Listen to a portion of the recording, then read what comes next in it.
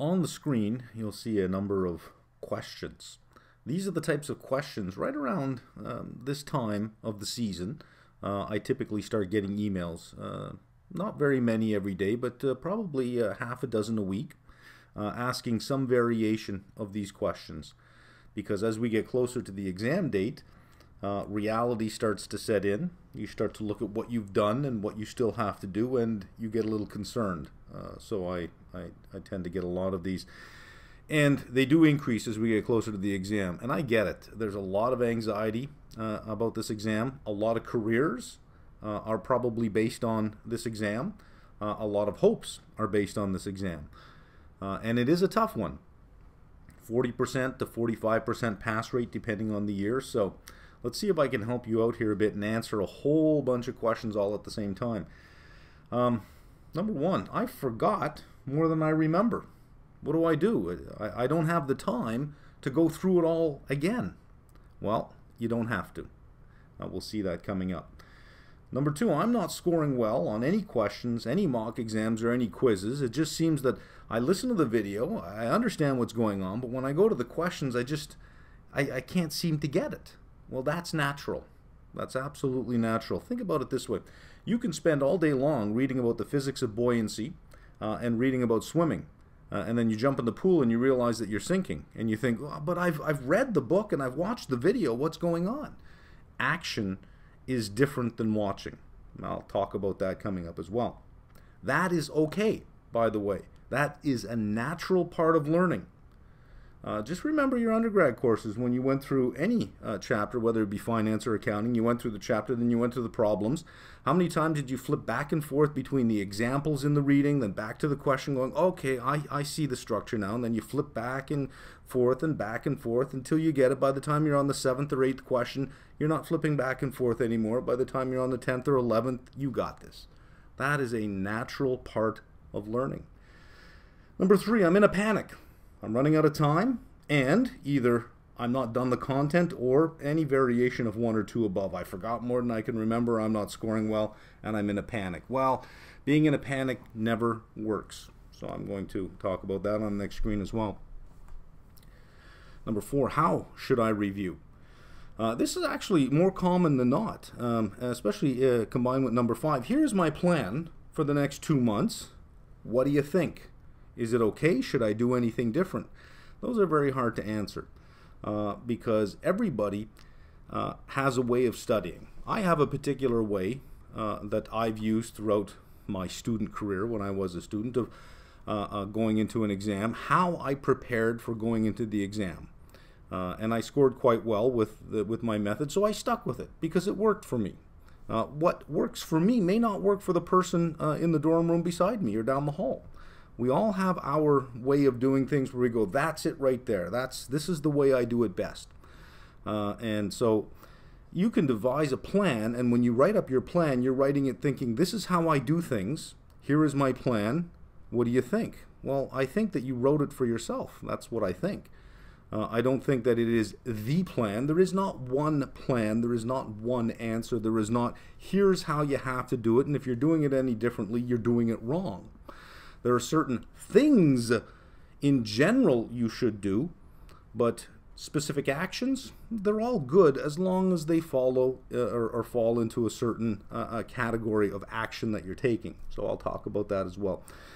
But this is sort of the state of thinking at this point in time is, you know what, uh, you're right. I should have paid attention to you six months ago when you said watch the calendar. Watch the calendar. It is your enemy. Uh, it uh, it marches on relentlessly and drags you towards that fixed date where you have no choice but to enter into that room and well do your best. Or the worst thing you can do is not enter that room, even even if you think you're not going to make it. It would be silly not to show up. Let me take a minute there and explain that. I wasn't going to actually uh, bring that topic up, uh, but but since I hit on it, let me let me explain why it's important to go into that room anyways. You think look, I'm not going to pass. Even right now, you might be saying, I'm not going to pass. There's no way I'm going to make it. There's no way I'm going to make it. And that may be true. You know your situation better than anyone else. You know where you are. You know what responsibilities you have in life. And guess what? We all have responsibilities in life. no matter how much you plan, life simply will happen to you and mess up all your plans. That doesn't make you less of a person. That just makes you an interesting human because you got a lot of life happening. That's all. Uh, so you think I'm not going to make it? What's the point? I could uh, unfree a whole bunch of time if I just stop preparing for this. Okay, well, there's one way to approach it. You've already paid that exam fee. You're not getting that back. Beg and plead all you want. They're not giving it back to you. Period. Um, what you want to do is say, okay, well, here's what I'm going to do. I want to see.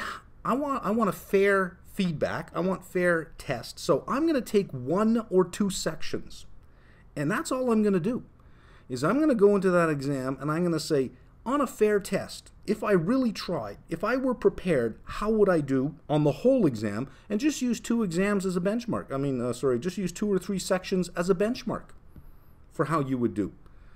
So say, you know what, I'm going to go into this exam and I'm going to know fixed income and I'm going to know equity and maybe I'm going to know portfolio management really well. I'm going to focus on that. I'm going to get 100% in those three sections and screw the rest. Listen, I know I'm not going to make it.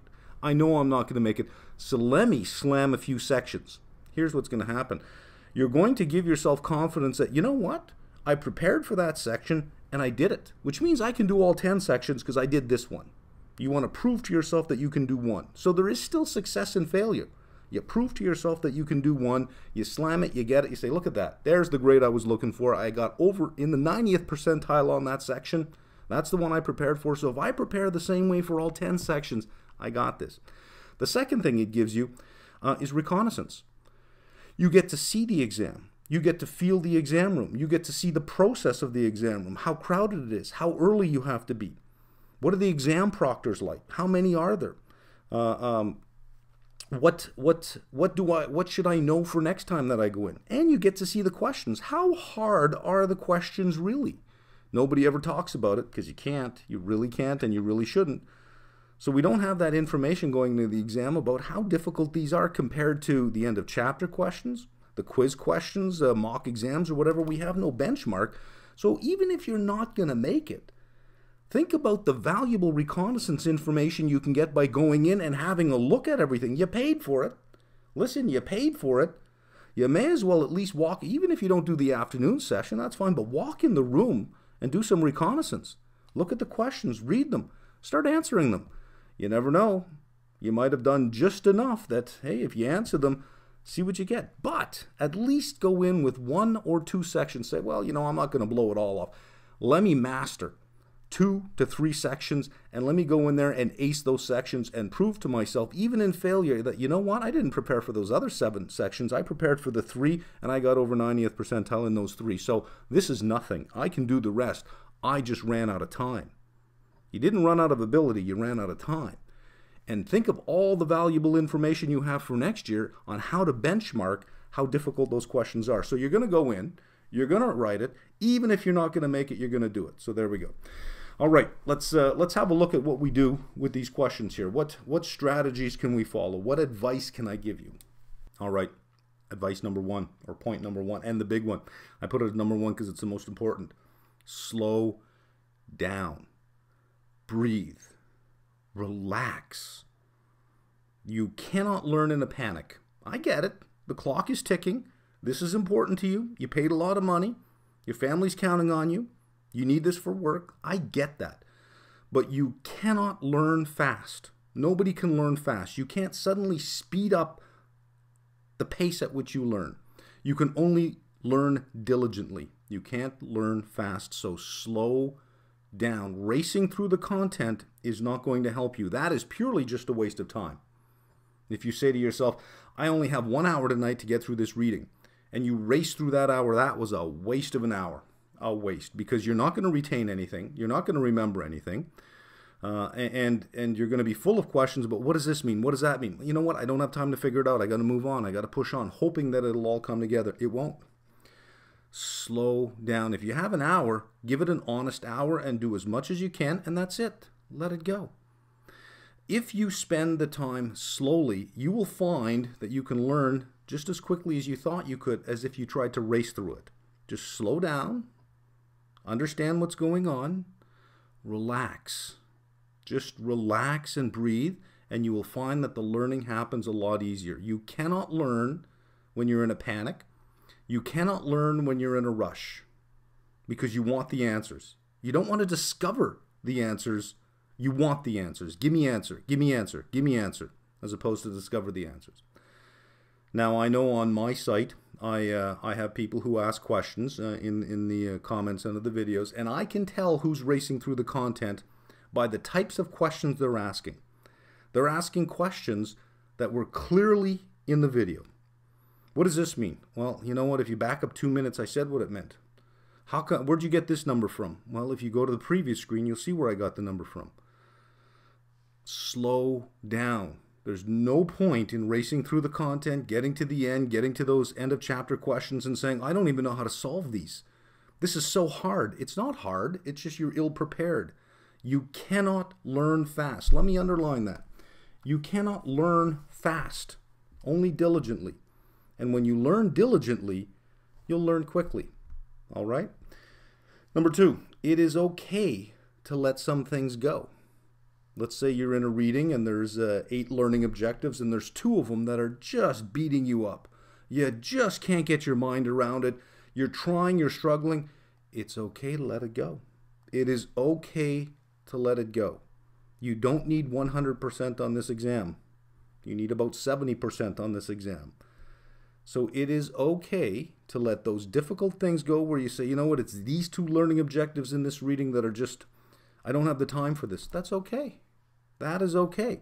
It's not going to break you if you let a couple learning objectives go here and there. If you let whole sections go, yeah, that, that could be a problem.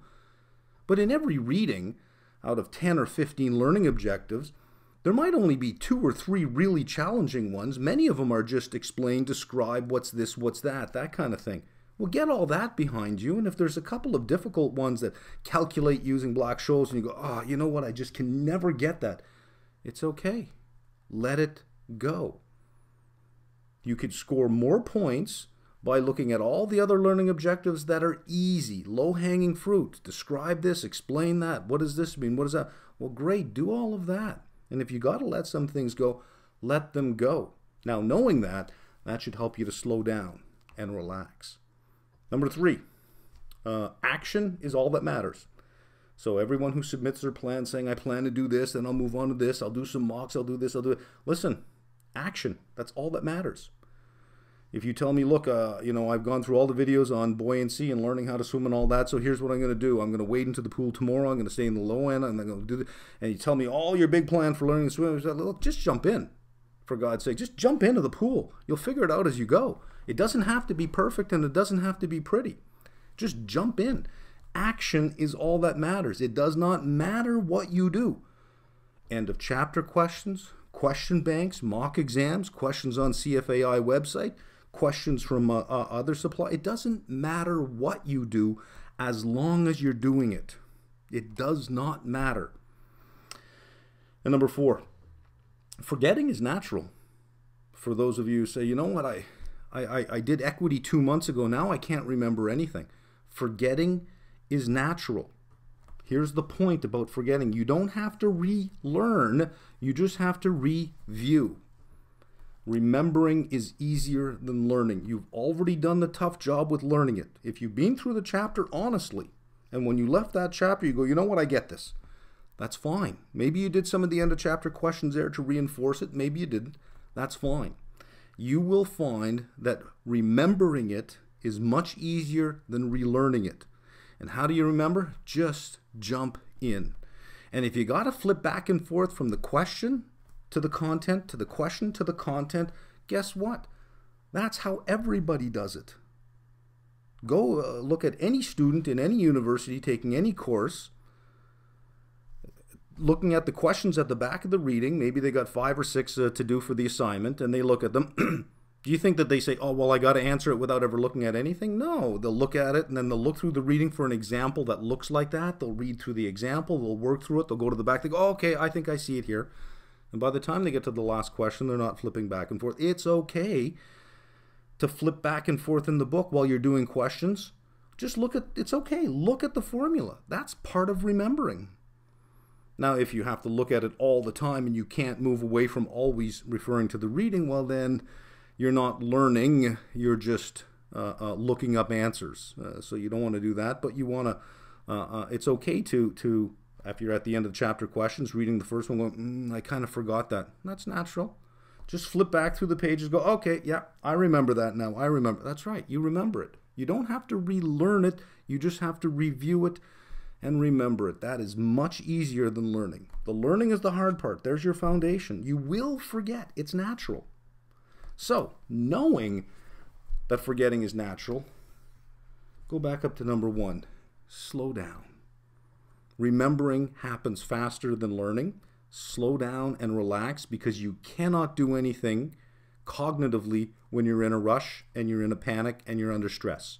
Your cognition breaks down and that's it. You, everything you do from then on is just a waste of time. All right?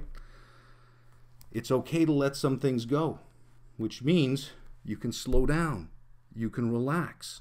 As far as any plan of action, that's all that matters is as long as there's action involved, as long as you're in the pool. At some point, you got to say, you know what? I can't read about the physics of buoyancy anymore. I can't read about uh, swimming styles. I just got to jump in that pool, and yeah, I'm going to flail around. It's going to be messy. It's not going to be pretty, but I will swim. So just jump in. As long as you're doing something, that's all that matters. Let's push on. All right, let's look at what tools or resources you have available for you to get you through uh, the, the rest of this journey. The, uh, you've got a couple weeks left to, to get your content down, but then some of you are ready to hit review, so we, we can go through this now. Number one, the review videos uh, that I have up. Uh, play them at one and a half times speed. Uh, I, I, in, when I do the videos, I, I talk at a slower pace like I'm doing right now, just to make sure that I get everything out. Uh, you can watch it at one and a half times speed. Uh, the first 15 to 25 minutes of every uh, review video is uh, a review of the major key concepts of that reading. So that review is like, okay, yeah, I remember this, I remember that. Again, don't relearn, review. 15 to 25 minutes review of the key concepts. The rest of every review video is the end of chapter question walkthroughs. Uh, but a warning here, watching is not the same as doing. So if you're going to just watch the end of chapter questions, say, well, I did all the end of chapter questions. Did you? Or did you just watch me do them? So, you know, do them. And if you can't get something and you can't figure it out, just know that, well, you know what? It's already done in the video and maybe I've answered it there. And if I haven't, look down below the video. There's a little box, a comment box. Put the time in the video that you have a question for and put your question up. Uh, I answer all of them. Well, I say I answer all of them. I try to get to all of them. The number of questions have increased dramatically in the last three weeks. Uh, I used to be able to get to 95 to 100% of them. Now I'm somewhere between probably 80 to 90% uh, of the questions that I'm getting to. Coming into the exam, I'm going to do the best I can to answer every question I can, but just know that that resource is there. There's the review videos, reviewing rather than relearning. Don't watch the main videos again, watch the review videos. Work through some of the end of chapter problems or watch the end of chapter problems and then move over to somebody else's question bank and says, now that I've seen how, how these are done, let me go try some on my own. The blue box examples in the, uh, in the book, if you need to review a reading, don't start reading the words from the beginning to the end. Go to the first blue box and read it. Go to the next blue box and read it. Just the blue boxes. Example one, example two, example three. That's all you need. You will remember it work through those blue box examples. CFAI, go to the website under candidate resources. They offer you a question bank and they have mock exams there. I think at level one, it's something like uh, 970 questions. Uh, and I think three full exams at level two. I'm not sure how many questions there are. If somebody knows, please leave a comment below, but I think you get two uh, full mock exams. And at level three, I think it's something like uh, 60 vignettes. I think it's something like that. Uh, plus, they give you three, the last three AM uh, uh, exams. Uh, so it's there under candidate resources. So you've got that. It's free. There it is. Use that. Um, quizzes on my site. There's a bunch of really good questions there. Number five, the seminars that I've done. Uh, these take very challenging topics in particular readings and break them down into very simple everyday language so that you can understand them. So there's a whole bunch of seminars up there. Play them at one and a half times speed. As there's a, a, couple of learning objectives in a reading that you're having trouble with, chances are there's a seminar there that I've done. Just head over there and have a look at it. if there is no seminar that I've done, and they are, uh, uh, you can uh, tell me, hey, look, you know, these this learning objective and this reading is kind of challenging, and I agree with you, like, yeah, yeah, it is. I'll do uh, a pre-recorded seminar. I don't have to do it live. I'll do a pre-recorded seminar and throw it up. It would take me maybe half a day to put one together, and I'll throw it up there, and there you go. Um, my rule for doing these seminars is that it must, it must be able to get you uh, uh, at least one, two, or even three points on the exam. If I have a, a feeling that, yeah, you know what, that's a challenging LOS, but uh, it's got a low probability of showing up on the exam, I see no point in doing a seminar behind it. Uh, so it's all the high probability difficult topics that I tend to focus on. What has a high probability of being asked? Is this seminar going to get you one or two extra points on the exam? Let me do it. All right.